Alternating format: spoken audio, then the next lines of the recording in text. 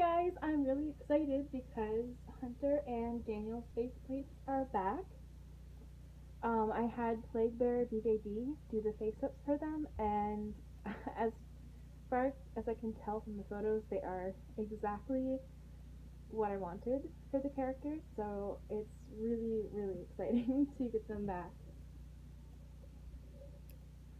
And now that these guys are here, I officially like have my entire crew for that story together. Like all of the characters are all here and all together, and it's really exciting.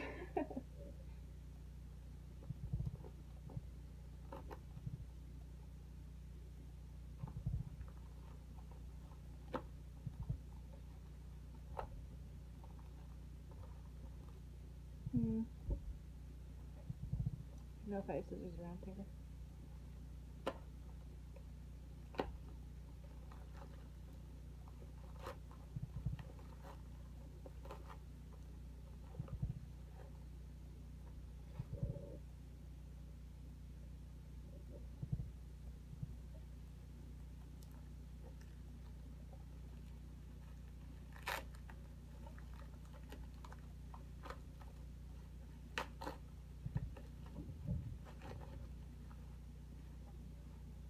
So, this is the little case that I set them in because it's um, tin, so it's pretty light, but it's sturdy. Um, so it keeps them safe and also helps save on shipping because that way I can just put it into a soft mesh envelope.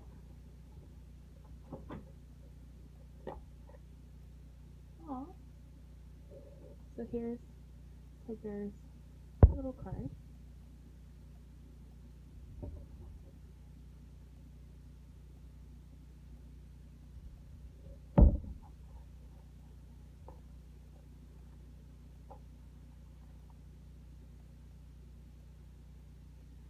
And here are the. Oh my god. I'm like scared. Oops, his eyes. He's funky.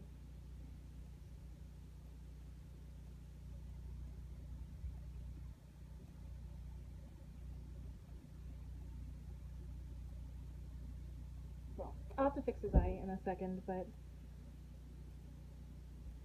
look how awesome he is. Oh my god.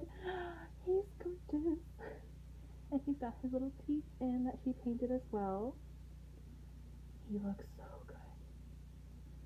Oh my god. He looks even more amazing in person. I'm so happy. Okay, so this is Hunter.